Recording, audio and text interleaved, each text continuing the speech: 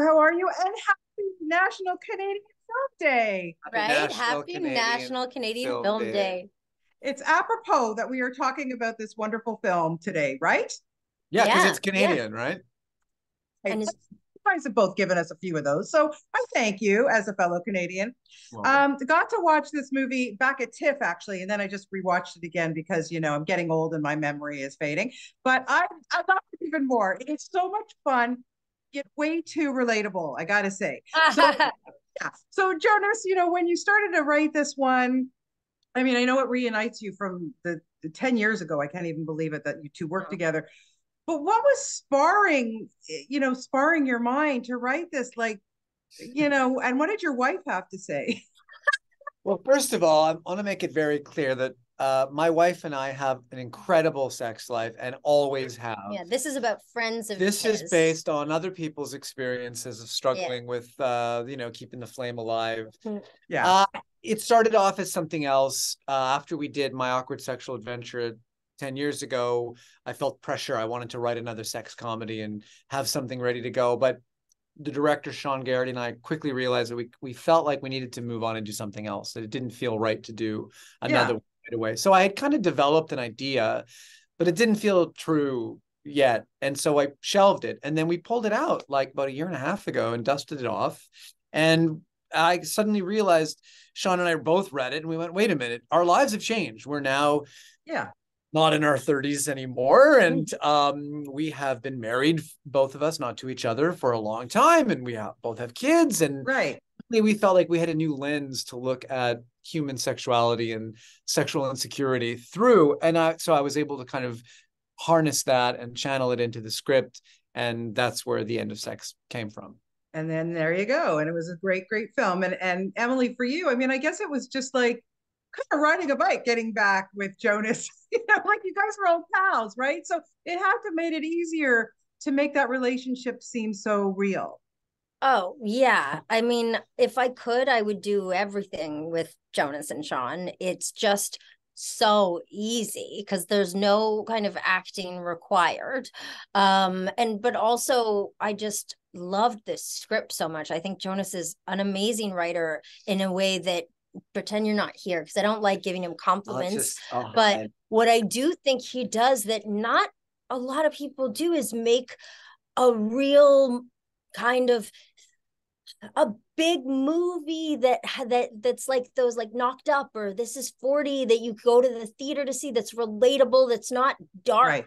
and um and it's funny but it's honest. And and I love that we just happened to well you know when we did my awkward sexual adventure we were both at that similar generation and place in our life. And then 10 years later we both can understand this too. So in 10 years we'll be geriatric we got to come up with something else for 10 years from Yeah. now. I can't wait. 10. Yeah. You, you, have got to do these like every 10 years, right? I, it'll be like our Before Sunrise Yeah, yeah. series. Yeah. Exactly. Yeah. Absolutely. I look forward to that. Okay, Jonas, have you ever sent the kids off to camp and then you and your wife are standing there going like, what now? You know, it's so funny. We I, when I wrote the film and when we shot it, which was a year about a year ago, I hadn't yet had that experience. And then that summer, last summer was the first summer Oh, that we shipped the kids off to camp. That's Yeah. Uh, we had a great time.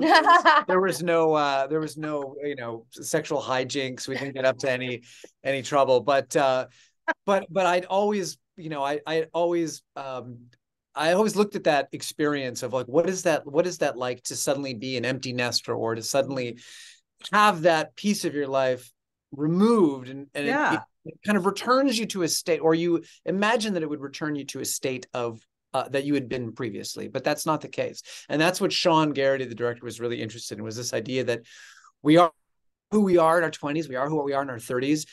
And then we, we like to pretend that we haven't changed as we're getting Right. older or Mhm. having kids or becoming parents. We want to just be those people all our lives. And part Yeah. of us connects still with those people. But, you know, ultimately, I think the the, the end result of looking at that and analyzing and observing it is that we we we aren't the same people. Like we Yeah. change. We grow. Right. Mhm. Yeah. And kids really do change the equation. There's no question about it. Right. Totally. Yeah. Nothing you can do. Like you gotta tend to them. It is what it is. But yeah, shipping them off to camp is always a good thing. Trust me. I know. I remember. Uh, um, Emily, do you ever get worried when you get one of these scripts? You're like, mm, that's a bit of a compromising uh, position, but maybe, maybe no, maybe it's just so much fun.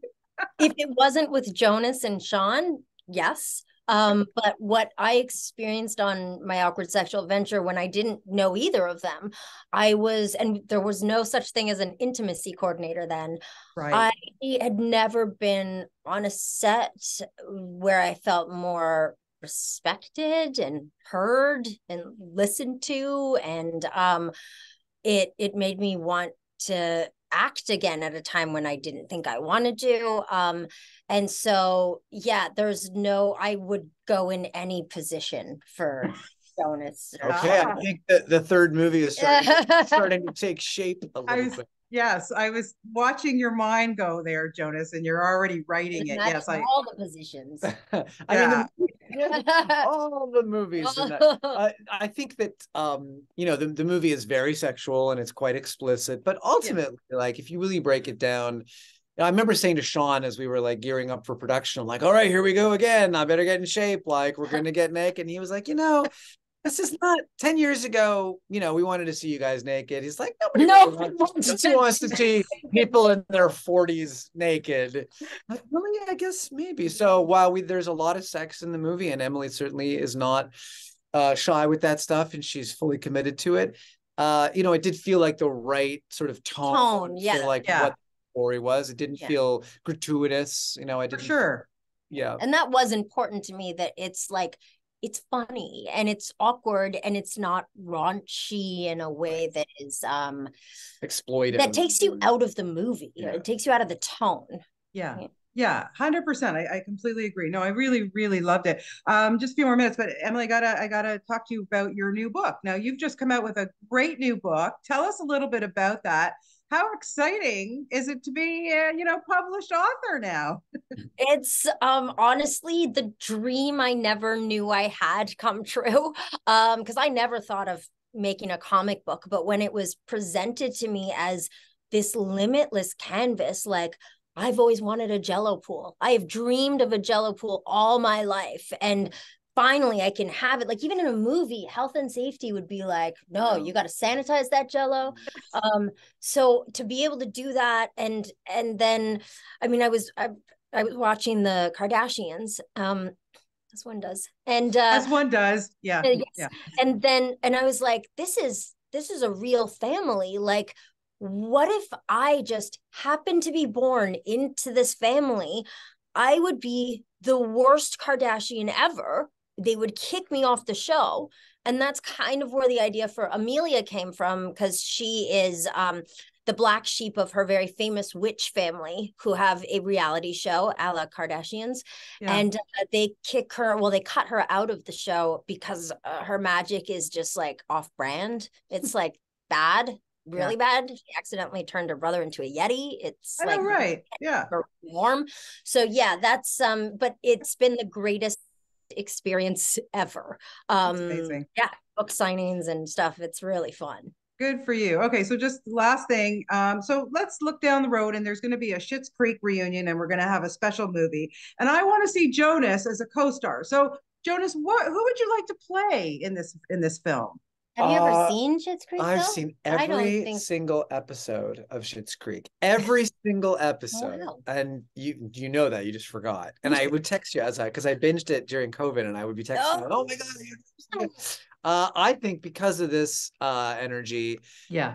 Come back to meet the characters again. Stevie has ended up with this guy, some version of this guy, right? Yeah. And, uh, and is at a crossroads uh, I don't know. I'm I'm no. I'm i think it, it, makes sense because yeah. also if you Google either one of us, uh, it says that we were married. Yeah. Right. That's so weird. How did that ever happen? It didn't, and I want everyone to know that. I don't know why she's so insistent that people not know that people know this, but yeah, you put in uh, Emily Hampshire's husband, I come up, which is uh, Uh, I'll Listen, take it. It's it's not a bad thing. It's, I mean, know, for some of us, for it me, is. It's good. It's it's embarrassing for her. For it's me. terrible. Let's yeah. face it. Yeah, it's not helping her at all. Well, you know what? I love seeing you guys on screen, so I am looking forward to the next film. Well, you know what? Don't even wait 10 years. Just just do it again soon, okay? Right, we're on Yeah. it. We're on it.